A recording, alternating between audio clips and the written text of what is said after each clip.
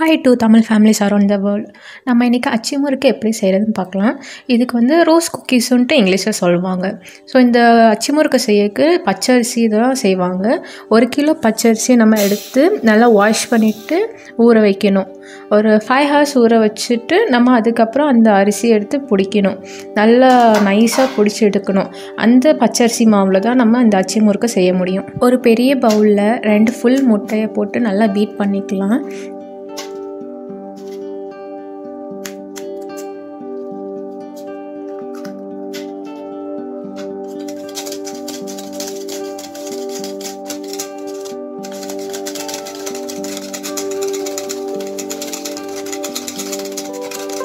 நல்லா பீட் பண்ணதுக்கப்புறமா இந்த அரிசி மாவு பச்சரிசி மாவு எடுத்து கொஞ்சம் கொஞ்சமாக ஆட் பண்ணி மிக்ஸ் பண்ணணும். ஒரேடியாக எல்லாத்தையும் கொட்டிடக்கூடாது. கொஞ்சம் கொஞ்சமாக ஆட் பண்ணால் தான் லம்ஸ் இல்லாமல் நம்ம வந்து பேட்டருக்கு நல்லா கிடைக்கும். ஸோ கொஞ்சம் கொஞ்சமாக மிக்ஸ் பண்ணிவிட்டு சைமல்டேனியஸில் சுகர்ஸும் ஆட் பண்ணணும். நாங்கள் வந்து ஒயிட் சுகர் பவுடர் பண்ணாத சுகர் தான் நாங்கள் ஆட் பண்ணோம்.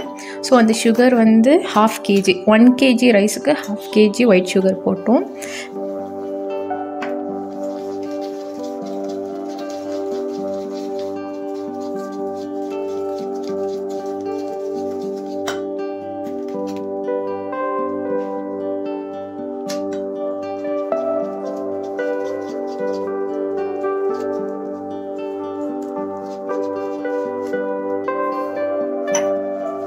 மிக்ஸ் பண்ணிகிட்டு இருக்கும்போது அப்படி மாவு கட்டியாக இருந்துச்சுன்னா சைடில் வந்து கொஞ்சம் கொஞ்சமாக கோகோனட் மில்க் ஆட் பண்ணிக்கலாம். நாங்கள் ஹாஃப் தேங்காய்லேருந்து அரை கப் கோகோனட் மில்க் எடுத்தோம். ஸோ அரை கப் மில்க்கையும் ஊற்று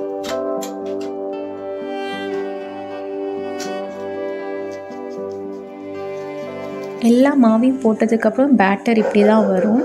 ஸோ ரொம்ப ஹார்டாகவும் இருக்கக்கூடாது பேட்டரு அப்படியே ஊற்றும் போது தண்ணி மாதிரியும் இருக்கணும். ரொம்ப தண்ணியாகவும் போயிடக்கூடாது. ஸோ கடைசியில் எங்களுக்கு இவ்வளோ தேங்காய் பால் மிச்சம் வந்துச்சு. பேட்டர் ரெடி ஆனதுக்கப்புறம் நாங்கள் வந்து க்ளோஸ் பண்ணி ஓவர் நைட் வந்து ஊற வச்சுட்டோம். நீங்கள் ஒரு த்ரீ ஹவர்ஸ் கழிச்சு கூட பண்ணிக்கலாம். ஸோ நாங்கள் ஓவர் நைட் வச்சுட்டு மார்னிங் ஏர்லி மார்னிங் சிக்ஸ் ஓ கிளாக்குக்கே சுட ஸ்டார்ட் பண்ணிட்டோம். ஸோ வந்து இதுதான் அச்சு. இந்த அச்சில் வந்து ஏற்கனவே ஹாட் பாயிலிங் ஆயிலை அச்சு வந்து ஊற போடணும். வெறும் நார்மல் ஆயிலில் போடக்கூடாது. கொதிச்சுட்டு இருக்க எண்ணெயை அச்சு வச்சுட்டு அதுக்கப்புறமா தான் மாவில் போடணும். அப்போ தான் அந்த மாவு வந்து அந்த அச்சில் ஒட்டி அழகாக பிரிஞ்சு வரும். இல்லாட்டி எல்லாம் எண்ணெயிலேயும் மாவு பிஞ்சு பிஞ்சு போயிடும். அப்போ தான் கரெக்டான ஷேப் கிடைக்கும்.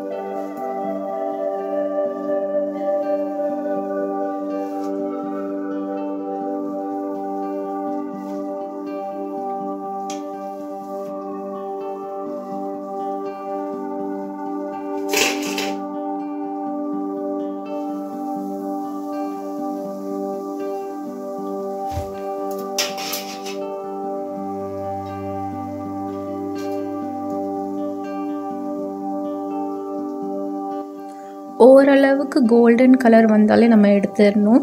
ரொம்ப நேரம் வச்சுருந்தா அப்புறமா கருகிடும் இருக்கு.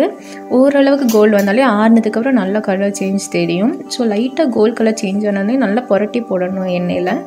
கோல் லைட்டாக கோல்டு சேஞ்ச் ஆனோடனே நம்ம எடுத்து வச்சிடலாம் சைடில் அதே போல் இந்த ஃபுல் முறுக்கு சுடுற வரைக்கும் ஸ்டவ் வந்து ஹை ஃப்ளேமில் தான் இருக்கணும். லோ ஃப்ளேமில் வைக்கவே கூடாது. எல்லாம் ஸ்டார்ட் டு எண்ட் வரைக்கும் ஹை ஃப்ளேமில் தான் இருக்கணும் கேஸு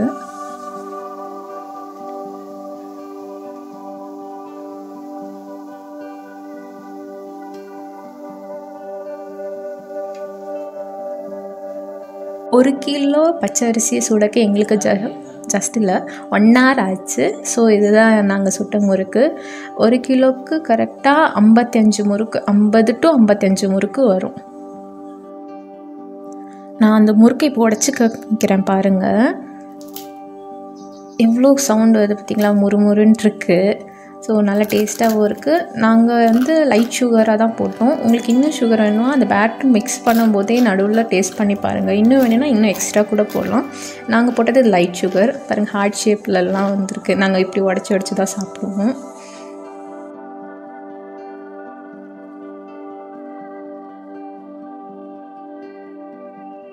முறுக்கு சுட்டதுக்கப்புறம் அச்சு வந்து முக்க முடியாது கொஞ்சோண்டு மாவில். ஸோ அந்த மாவை நல்லா வலித்து எடுத்துட்டு எக்ஸ்ட்ரா இருக்கிறதுல ஒரு அஞ்சாறு பணியாரம் சுடுவாங்க. அந்த பணியாரமும் நல்லாயிருக்கும் கொஞ்சம் மிஸ் ஆச்சுன்னா அதெல்லாம் திரிஞ்சு போயிடும். கரெக்டாக பார்த்து அது கொஞ்சம் லோ ஃப்ளேமில் மீடியம் ஃப்ளேமில் வச்சு பணியாரம் சுட்டு எடுத்தால் நல்லாயிருக்கும்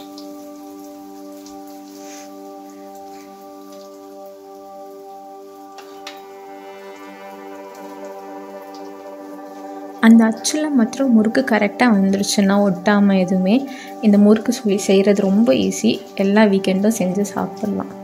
மறக்காமல் சப்ஸ்கிரைப் லைக் அண்ட் கமெண்ட் பண்ணுங்கள் ஏதாவது டவுட்ஸ் இருந்தாலும் கமெண்ட்டில் கேட்குங்க